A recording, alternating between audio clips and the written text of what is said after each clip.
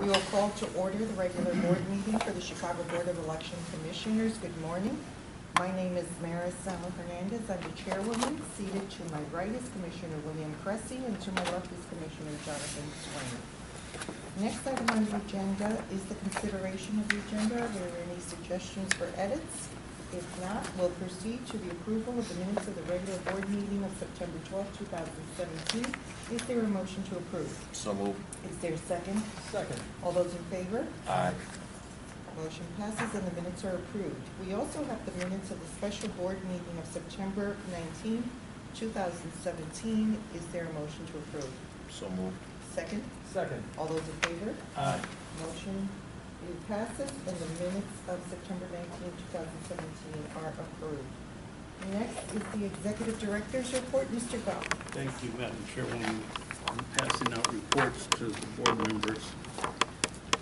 We had our first Phase One meeting on Tuesday, October third, to talk about the RFPs that were submitted on new voting equipment.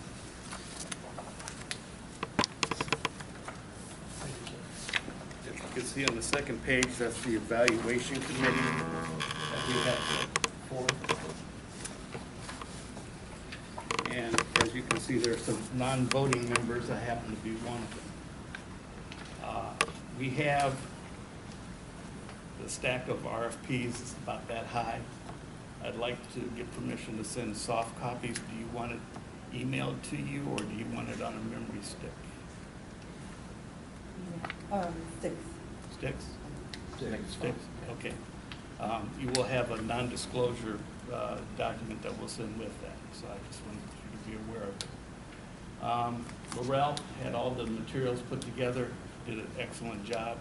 We should be, um, hopefully in another two weeks, if everybody can go through these proposals, come up with the top three, and then we will uh, issue a report to the board members but it seems to be going quite well. Uh, I also have uh, a executive session today on personnel matters, if I could have the board members. But that's all I have for the board at this time. Mhm. Um, Thank you, Mr. Bell. Um, Next is uh, Mr. Allen, our Communications Director. Morning, Commissioners. Uh, Briefly, the uh, follow through on uh, I'm news sorry. releases I'm regarding. sorry. Can I interrupt? Oh, go ahead. Jim Allen for one second. Barry Taylor for the Equip for Equality is here to give a re- a quick Oh, I'm report. I'm sorry. I'm sorry, Barry. No problem. I'll be are short. Good morning.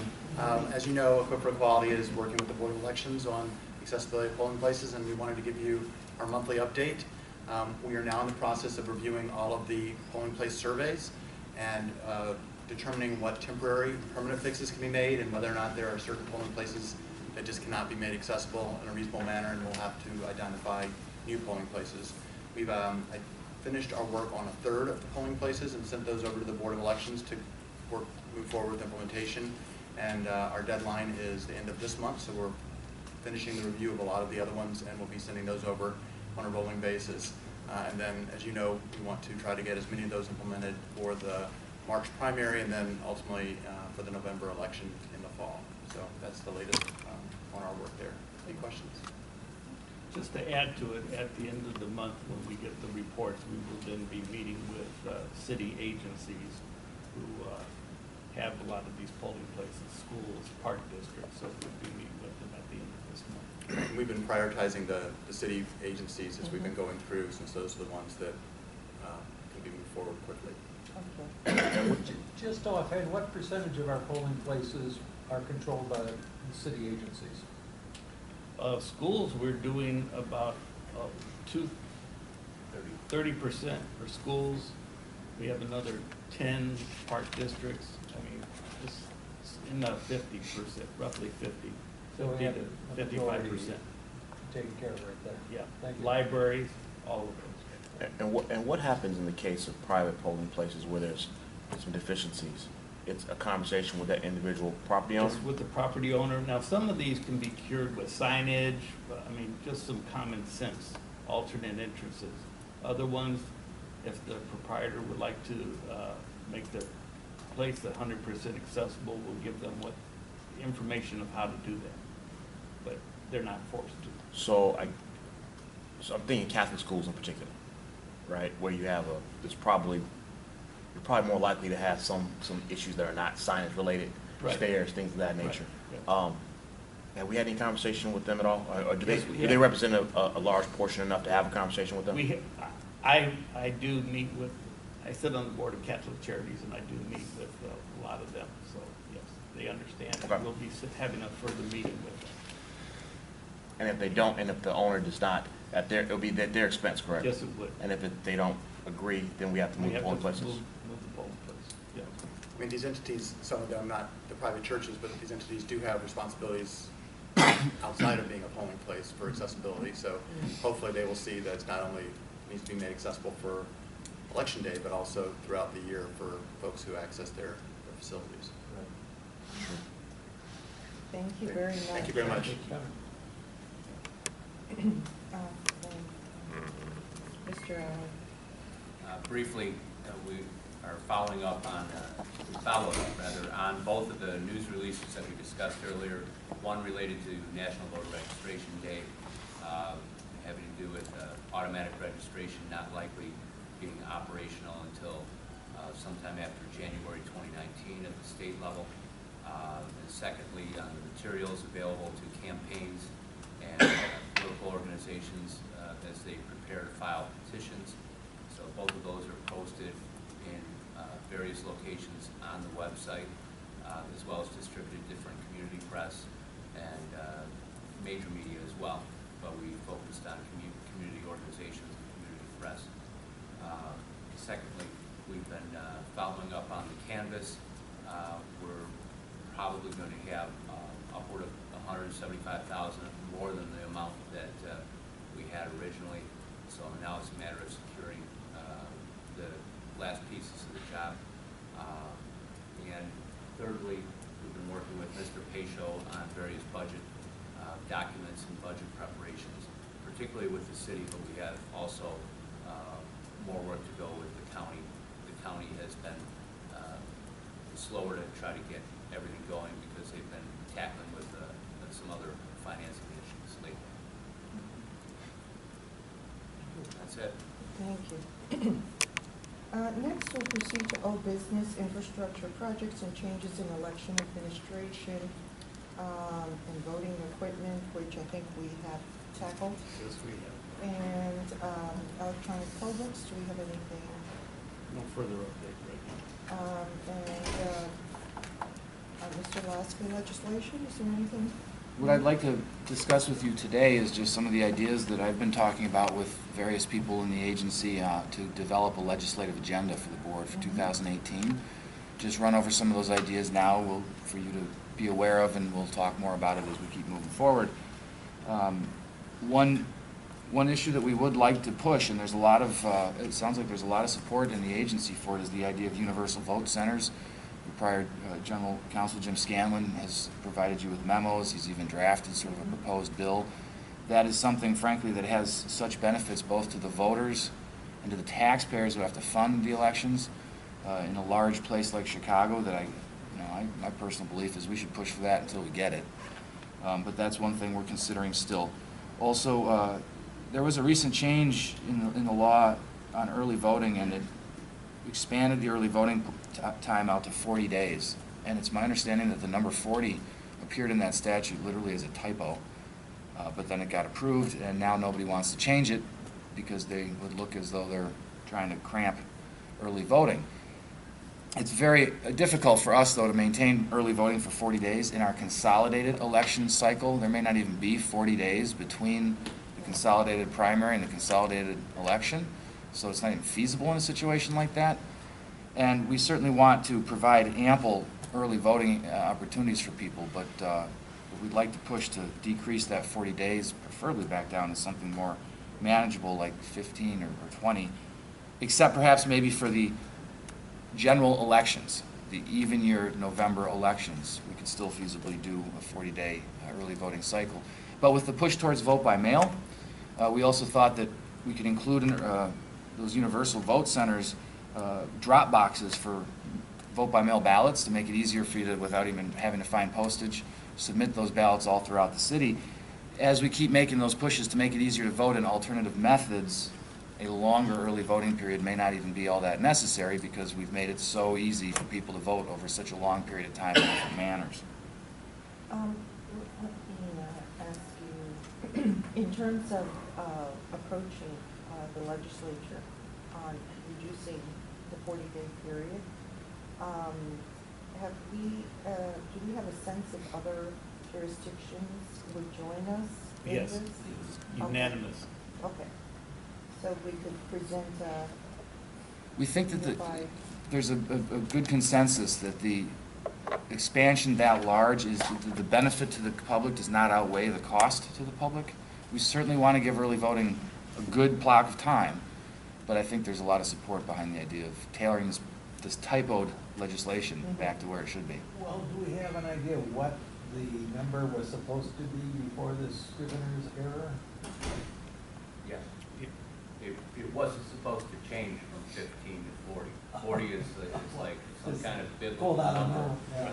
So it, what, what happened was a cut and paste situation with uh, in-person vote by mail uh, legislation being copied and pasted into the separate uh, section uh, having to do with early voting when they were revamping that. So uh, we had, as board, lobbied for successfully moving it from 22 days before to 15 days before, and we had unanimous support when we did that uh, among the county clerks around the state, because 22 days before, especially in a primary or a municipal election, people don't have their minds made up. Really, early voting is a function of minds made up. For a general election, 22 days works out great, even 30 days works out great, because many people are ready to vote as soon as the conventions are over in a presidential election. But, yeah, 15 for most other elections is where you really see the increase in usage. And before that, you're opening sites and staffing sites for virtually no one to come in uh, at all these locations across the city. So uh, So we're gonna go back to fifteen or twenty-two? 15 or 22 uh, would be a great compromise, but 40 is totally unworkable in a municipal election when we're still going to be in court. Yeah, don't remember the ballot certification deadline is sixty-eight days before, and we are so frequently still dealing with electoral board decisions on judicial review or in the appellate courts up to forty days, thirty days Not to out, so. mention the personnel costs that would be about. Oh, the staffing. astronomical. Yeah, yeah. Fifty-one sites. Yeah. So it's- it's Yeah. astronomical. So that, So, with respect to a municipal election, uh, clearly that cannot be adhered to by the schedule, clearly. But would that be a cause of action for any candidate, the fact that we did not, the law says forty days? it would be a cause of action, but I do believe that when a law creates something that's impossible, the Sure. courts recognize that, and they recognize that if- we have to start early voting before the primary, I mean, how do we I got you. prepare a ballot? So I guess Yeah. the point, the reason I asked that question is because if there has not been uh, any movement with respect to the forty days, one compromise might be for, for an practical impossibility, like our municipal elections, to clear that up, to Yeah. avoid that particular issue, and then doing, approaching it in some kind of incremental fashion. So if they don't want to move on the forty, then at least move on this, because it's imp- im- impossible to do. At least for the consolidated cycle, right, we'll, we'll Right. take what we can get, but we're, Right. we're gonna push for, Mhm. for what we can get. Now, the, the State Board of Elections has proposed some changes about write-in voters that, uh, we are in- internally, at least in support of. Uh, right now, to be a write-in voter, in some offices, you'd have to file a declaration of intent with multiple election authorities. Uh, if you're in a district that is under the jurisdiction of multiple election authorities, it gets complicated for the write-in voters. The state board is proposing uh, a change to the law so that you only would file one declaration of intent to be a write-in. You would file it with the same office where the nomination petitions for that same office would have been filed. And then that election authority, let's say it's a state representative district, you would file your write-in with the State Board of Elections. If it's a state, uh, if it's a state rep district that hits Chicago and suburban Cook County, then the State Board of Elections would transmit to us a certification of that write-in and would also transmit it to the county. Or maybe they would transmit it to the county and then the county would transmit it to us. But the, the idea is make that a little bit easier for the write-in voters. while we're at it, we would throw into that uh, some minor changes to the filing times that are current for uh, write-ins. Right now, the standard deadline is 61 days before the election. We think that should be brought out to 68 days before the election because that's the ballot certification deadline.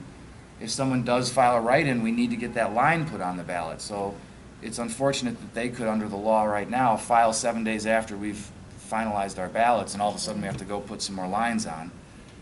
The other timing issue is that if a candidate was removed from the ballot by an electoral board, that candidate can file a write-in declaration up to seven days before the election, which is quite unfeasible in a lot of situations. We would propose changing that rule to that they could file their write-in declaration within seven days after the electoral board removed them, or the circuit court removed them on judicial review, or the appellate court and so forth. At least just trying to bring that as far away from the election as possible to make it easier to manage. The second proposal by the State Board of Elections is to uh, amend the election code allowing an electoral board to have jurisdiction over the filing of write-in declarations. Uh, Right now, there's not a clear statutory method. Someone can go into the courthouse and file a circuit court uh, mandamus action to try to tell us what to do in relation to what they believe would be an insufficient, legally insufficient write-in declaration. Our proposal is let the electoral boards have jurisdiction over that so that we have it all contained in this, all ballot access contained in the same venue. And also similarly with the candidate petitions, then also to allow the agency to use its apparent conformity authority for things that are filed outside of the deadline or if it's not signed or, you know, something rather apparent. So that's what we're pushing for right now, open for more ideas as we start moving into 2018. I think all of those are, are great ideas. Um, Thank you. Thank you. Any other questions? Not, we will proceed with new business, and there is an attorney, uh, contractor agreement, um, between the board and, uh, Ms. Barbara Goodman that we have before us, and as everybody knows, Ms. Goodman has been a long-time hearing officer of the board, um, and uh, she uh, will again provide those uh, services in relation to the 2018 primary and general elections. Um, In addition, uh, she has uh, served as an assistant to the general counsel here during the electoral board seasons, and she will again provide those services for the 2018 cycle. Um, And uh, we all acknowledge that she is a very important part of the, uh, will be, uh, has been and will continue to be uh, an important part of the uh, 2018 elections. Um, So um, there is uh, before us an attorney contractor agreement between the Board of Election Commissioners and Barbara Goodman for the period of time of October 10, 2017 through December 31st, 2018, um, at the rate of uh, $200 per hour. Um, Is, uh, does anyone have any questions? Uh, If not, is there a motion to approve? So moved. Is there a second? Second. All those in favor? Aye. Motion passes, and uh, the attorney contractor agreement between the board and Ms. Barbara Goodman is approved. Madam Chairman, the next item, I'd like to pull off the meeting, if you don't mind. Sure. I will be, uh, I will be sending information hopefully by the end of this week. So we can have it approved at the next meeting. Okay. Uh, Next item on the agenda is a legal report. Mr. Lasker, is there anything? There's not a legal report, although as you uh, know, I've requested an executive session for pending litigation. That's fine. Um, There is no financial report. Uh, There is uh, no public comment, and so. Yeah, I'm sorry. Oh. Um, just Can two you, uh, questions. State your name, please. Yeah, Dr. Laura Chamberlain, Clean County, Cook County. Um, uh, Mr. Allen, you said that there were hundred and seventy-five thousand more canvass returns than you thought? No. Or that you, can you No, give us we're the gonna- total? We're gonna be over the hundred seventy-five thousand, is what I was getting. Okay, so that's the total, is over, uh, hundred and seventy? Probably closer to two hundred thousand. Okay, okay, great. And, um, Mr. Lasker, I wanted to, about the, uh, your intentions for possible uh, legislation. Um, The candidate would file one motion of intent for a write-in at the State Board of Elections, and then the election board would actually adjudicate it, right? Would decide whether they were It depends, authorized? it would depend on the office. If the office is one, is a state office where the nominating petitions are filed with the state board, then a write-in candidate for that office would file the declaration with the state board. If you're running for Chicago alderman, you would file your nomination petitions with us, and therefore also your declaration of intent to be write-in would get filed with us. Right. So that's, Depended on the race, okay, Yeah. great. And then, um, how long would the election jurisdiction have to decide on? Depends on when the write-in is filed, uh, because I mean, how many days after filing? Oh, you're right, because there would, there would be a deadline. Okay. It's so- always gonna be expedited, the electoral board will always act as quickly as it can. It would be the same as with candidates, except for that with candidates, there's just a seven-day period, we know they're gonna be filing their petitions. Right, With a write-in, we don't quite know when it's gonna come in, but I think that the proposal is that the same five-day period after the filing to create the objection would exist, and then the electoral board would probably follow the same timeline to initiate the hearings, because it's already a pretty a busy timeline for what has to happen behind the scenes to get the Right. notices out and so forth, and, and the electoral board would act as quickly as it can. okay. And, hopefully sixty-one days before the ballots are, before the election day, We'd like to make it sixty-eight, 68. because that's the same deadline as ballot certification, which, as I pointed out, then if we, if you, there's no blank line unless someone files a declaration to be a write-in, Right. then we'd have to put that, add that blank line. Right. Yeah. Okay, thank you so much. Mhm. Thank you. Um, Next on item is uh, executive session, and um, is there a motion to go into executive session for discussion of pending litigation uh, in accordance with section two C eleven of the Open Meetings Act, and discussion of external auditing committees under section two C twenty-nine, and personnel matters under section two C one. So moved. Is there a second? Second. All those in favor? Aye. Okay, so, uh, motion passes. We will now go into executive session. Uh, we will not take any action in executive session, um, and we will return if there, uh, if there needs to be any action taken, we will take that in open session upon our return. Thank you. We're back now in, uh, open session. Uh, the board took no action in executive session. Uh, and uh, if there is nothing further, no further business, then um, I'll entertain a motion to adjourn. Is there a motion to adjourn? So moved. Do We want to say when we adjourn to? Um, we could just post it. Okay, we will, uh, the post the, uh, the- Well, we could just post it. Okay. Sounds good to me. Okay, so moves. Second, Second. all those in favor? Aye. Okay. We're adjourned, thank you.